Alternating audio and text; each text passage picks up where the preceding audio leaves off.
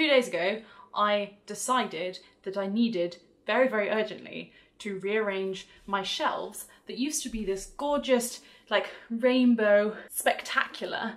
Um, I decided I needed to rearrange them by author. I have no idea why, because that idea doesn't appeal to me at all. Rainbow is nice, it's ordered, it's neat, I know where all of the books are anyway, and it looks beautiful across the room. But for some reason I was like, you know what, it needs, it needs to be by author now. The only thing I could think that was like a sensible reason to do it was it's nice to have all of the author, like a series all in a row if they're different colours.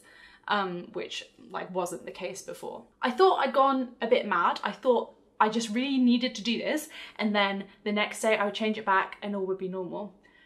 But that's not what happened at all. At one point my boyfriend did say, is it because you miss bookshops and you want it to look like a bookshop? And I thought maybe, like maybe that's why.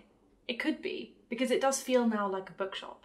So now it looks like this. You can see one, two, and a bit of three. There are five of these. I'm not going to mess up the camera. I'll do a full pan in a second. I've also done this for my non-fiction that lives on that side of the room. It's still categorized a bit. I have like general non-fiction, memoir, like self-helpy, productivity, poetry and nature. But like, yeah, five categories and now all arranged by author. Same with my uh, hardbacks down here arranged by author. So it doesn't look as good. It doesn't look as harmonious from across the room as it did before.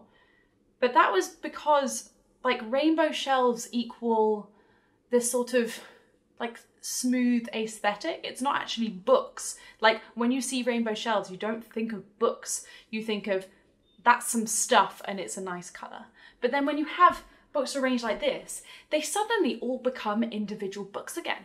And it was just astonishing how I did this and suddenly there were a bunch of books that I couldn't stand being there anymore. I've now pulled out 25, maybe maybe 30 books um, that I didn't want anymore because they didn't really represent who I am as a reader, or I read them, really didn't like them, or I read them and thought they were blah, or they were just old and I didn't really connect to them, or I just never thought I'd, I was going to read them. These are some books I've been holding on to for years and years, and I realised that what caused this trigger for that, this to be the time to get rid of them was that suddenly, when they're not in like a, a beautiful gradient, they're individual books again. Like every single one of these now catches my eye. And before it was really easy to just like bypass the ones that I didn't care about as much when you're when you're looking at a whole spectrum of them. But now that's impossible. It is so striking how every single one of these books is now drawing my eye and I look at them and I think, yes, I'm glad that I have that book there. And I just feel kind of manic. this is obviously very inconsequential, way bigger things happening in the world. But it is one of those things that's kind of like become a bit of an identity point rather than just like a thing.